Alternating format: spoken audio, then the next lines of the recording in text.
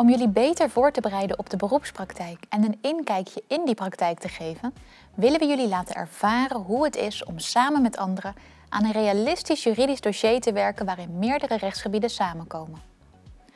Vanaf volgend jaar zullen de vakken handelsrecht, arbeidsrecht en ondernemingsrecht samen het vak recht en bedrijf vormen, waarin precies dat gaat gebeuren. We gaan een samenwerking aan met het bedrijfsleven dat de docenten van input voorziet en studenten een kijkje in de keuken geeft.